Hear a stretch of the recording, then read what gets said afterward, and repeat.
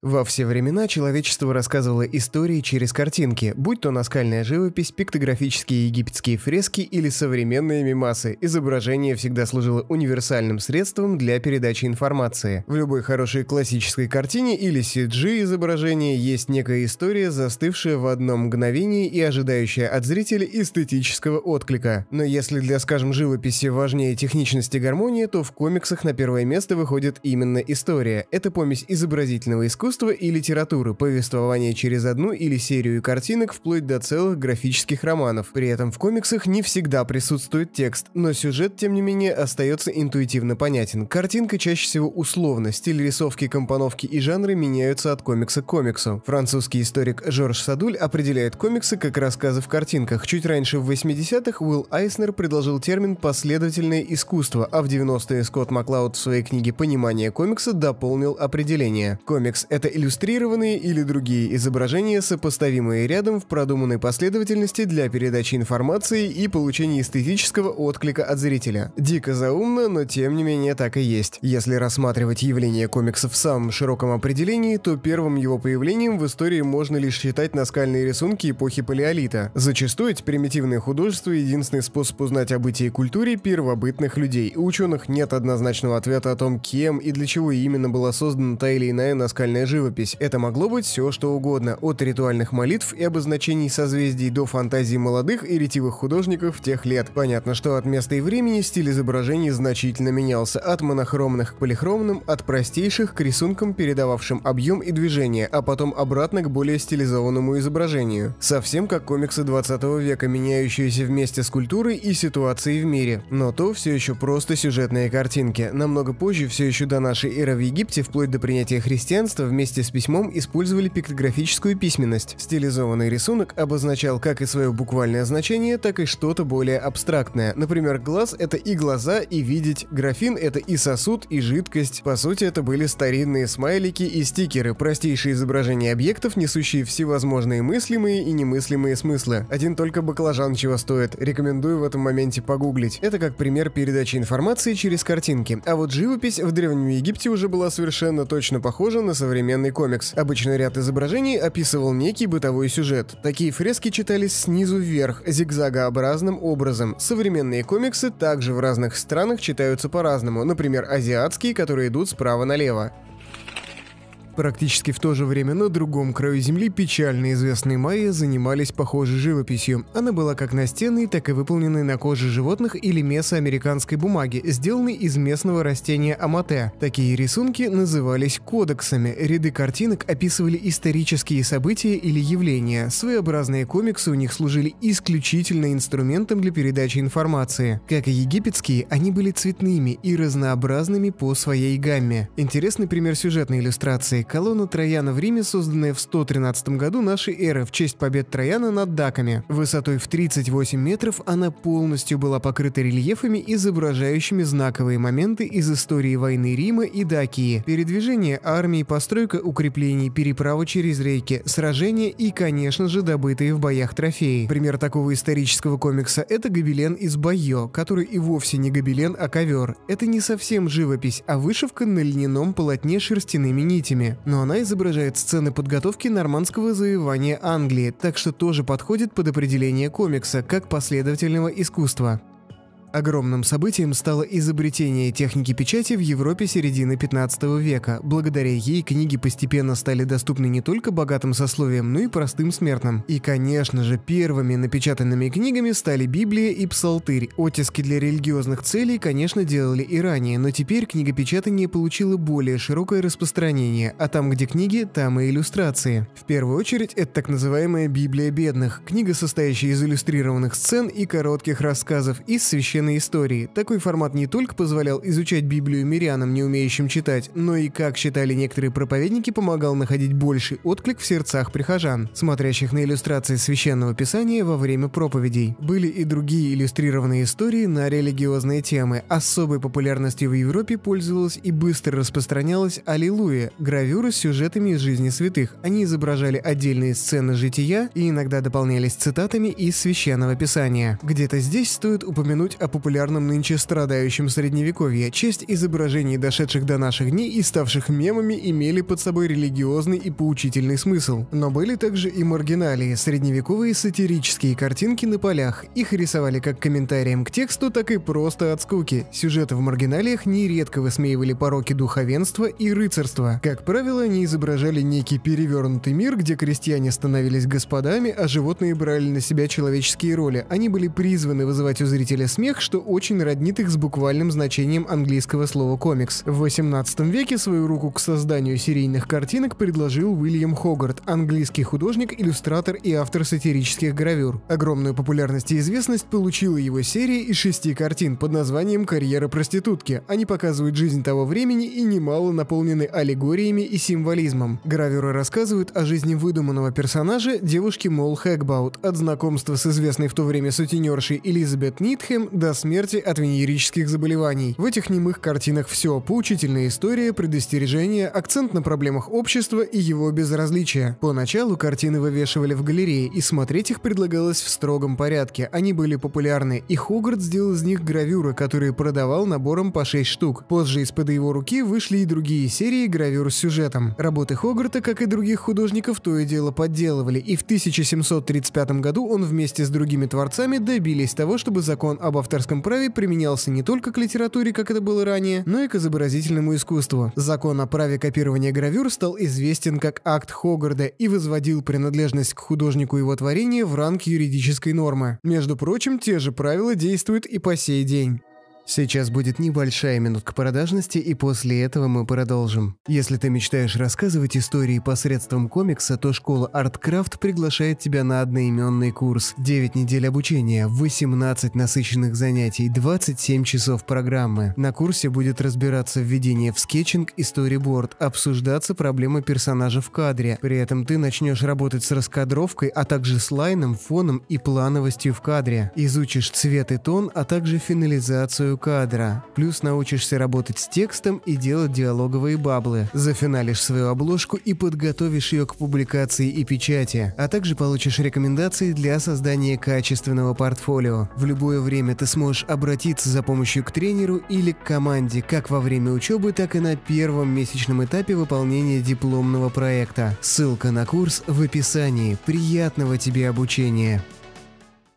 Огромное спасибо, если рекламу не перемотал или не перемотала. Продолжаем. Кроме сатирических серий, также на комиксный лад перекладывались и книжные произведения, например, сказки. Потихоньку изобразительное искусство переставало быть привилегией церковников и знати, и все больше уходило в народ. В 19 веке истории в картинках во Франции изготавливали массово, уже фабричным методом. Они были очень популярны и распространялись по всему миру, в том числе добрались и до Америки. Под влиянием этих европейских историй в картинках в 1830 1933 году швейцарский педагог, писатель и художник Родольф Топфер выпустил историю господина Жабо, книгу о забавных приключениях человека, пытающегося выдать себя за светского льва и попадающего из-за этого в неприятности. Это были забавные и простые серии рисунков с подписями. Родольф изначально не собирался их издавать, а просто развлекал таким образом учеников. Но однажды историю господина Жабо увидел Гёте и оценил как очень смелую и смешную, и спустя пару лет книга все же вышла в свет. Это и считается первым в мире мире настоящим комиксом того формата, что известен и по сей день. В 1884 году британским издательством Daisel Brothers был выпущен первый в истории еженедельный комикс «Полупраздник» Элли Слопера, про ленивного шумного интригана всеми силами пытающегося избежать своего арендодателя и кредиторов. Он выпускался в формате черно-белого таблоида в 8 страниц и стоил 1 пенни. Первым же американским комиксом стал «Тигр и медведь», вышедший в 1892 году в журнале «Сан-Франциско Экзаменер». Четыре простые картинки отражали реальность жизни тигра и медведя. От комикса ожидается какое-то действие, но ни тигр, ни медведь по сути ничего не делают. Редактором же этого журнала и других газет был Уильям Хёрст, прямой конкурент того самого Джозефа Пулицера. Впоследствии он частенько использовал комиксы в своем журнале. Кстати, именно он придумал раздувать всякую мелочь и подавать ее как сенсацию. Это приносило отличную прибыль его изданиям. У Хёрста не было никаких рамок Он хотел, чтобы его газеты просто читали все. Главный единственный критерий качества газеты – это тираж. Так желтая пресса окончательно стала ассоциироваться с дешевыми изданиями, ориентированными на сплетни, слухи и частенько сильно раздутые сенсации. В 1896 году Хёрст переманил к себе создателя юмористического комикса про желтого мальчика Ричарда Ауткольта, и теперь этот популярный в Нью-Йорке персонаж заполнял воскресный выпуск уже его газеты Morning Journal. Малыш стал одним из первых полноценных комиксов, где использовался речевой шар для реплик. Также на Хёрсте работал и Уинзер Маккей, специалист по политической карикатуре. Не совсем комиксы, но тоже рисунки со смыслом. Начало 20 же века для человечества, мягко говоря, было бурным. Первая мировая, потом Великая депрессия и, наконец-таки, Вторая мировая война. Последние два глобальных события сильно влияли на Америку и ее жителей. Не было ни денег, ни желания читать серьезную литературу. Людям требовалось что-то веселое, развлекательное. Как нельзя вовремя, Dell Comics, подразделение компании Dell Publishing, взялось публиковать комиксы как отдельные издания. Они начали свою работу в 1929 году с Funnies, 16-страничных журналов, наполненных короткими лентами комиксов из двух-четырех кадров. Историк Рон Гуллард описывает это четырехцветное издание как скорее секцию воскресных комиксов без остальной части газеты, чем настоящий комикс. Большую часть обложек к этим комиксам нарисовал карикатурист Виктор Пазминьо. Он также рисовал обложку и для более поздней, настоящей, как считают историки, американской книги комиксов Famous Funnies. Этот новаторский проект стал совместной работой Dell и Eastern Color Printing, которая чуть ранее выпускала серию восьмистраничных комиксов Funnies on Parade, не снискавших особой популярности в народе. В 1938 году состоялось, пожалуй, самое знаковое событие в истории американских комиксов, ознаменовавшее начало золотого века комиксов. Компания DC, которая на тот момент была известна как Detective Comics, запустила серию Action Comics, в первом же номере которого впервые представила миру Супермена. Персонаж имел огромный успех и положил начало супергеройского архетипа. Персонажа создал и несколько раз перерабатывал дуэт из комиксиста Джо Шустера и сценариста Джерри Сигела. Конечный вариант Супермена, основанный на героях мифов, был призван спасать мир и сражаться во имя справедливости. Он был выходцем с другой планеты и обладал сверхсилой и прочими физическими преимуществами на Земле. Дизайн же костюма был основан на традиционных костюмах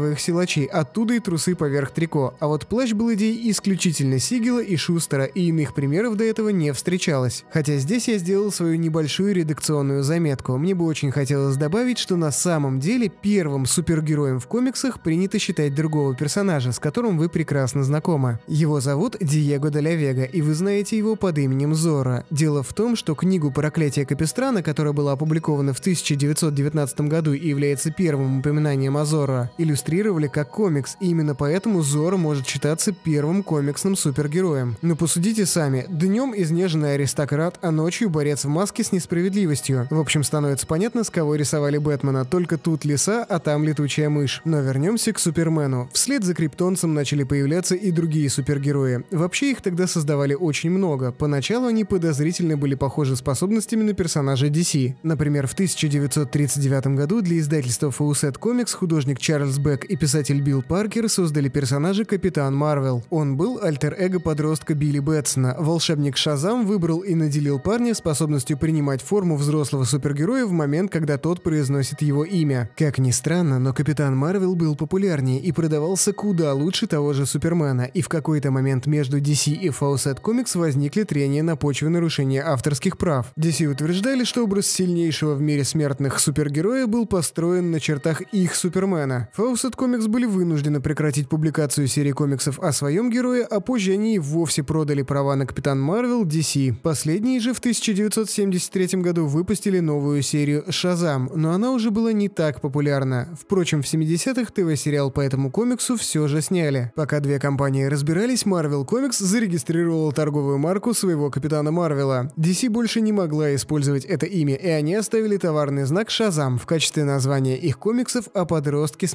магической силой. В 2011 году, когда перезапустили все комиксы DC, за персонажем окончательно закрепилось это имя – Шазам. Очень запутанная история. Единственное, что на всякий случай стоит пояснить, Марвел в переводе с английского – чудо. Вслед за Суперменом свою популярность стали обретать и супергерои без особых способностей. Таким был Бэтмен, созданный писателем Биллом Фингером и художником Бобом Кейном. Тот самый Брюс Уэйн с мрачным альтер-эго и единственный супергерой, чья суперсила — это деньги. Также в комиксах стали стали появляться и герои, обладающие какой-то одной способностью. Одним из самых популярных был Флэш, обладающий сверхчеловеческими рефлексами и способностью быстро бегать. Это был первый, но не последний Флэш, и звали его Джей Гаррик. Свои способности студент колледжа получил после вдыхания паров тяжелой воды. Он также был членом первой команды супергероев Общества справедливости Америки. Серия о них закончилась еще в 1951 году, когда популярность в комиксах о супергероев пошла на спад. Комиксы о суперах так или иначе частенько носили агитационный или даже в чем-то воспитательный характер, четко указывая на то, что такое хорошо и что такое плохо. Поэтому неудивительно, что вместе с началом Второй мировой войны стали появляться супергерои-патриоты, призывающие к тому же читателей. Они пользовались очень большой популярностью, людям нравилось читать об их легких победах над нацистами, в том числе самим Гитлером. Одним из ярчайших представителей комиксов военного времени был, конечно, Капитан Америка, созданный писателем Джо Саймоном и художником Джеком Кирби. По сути, он был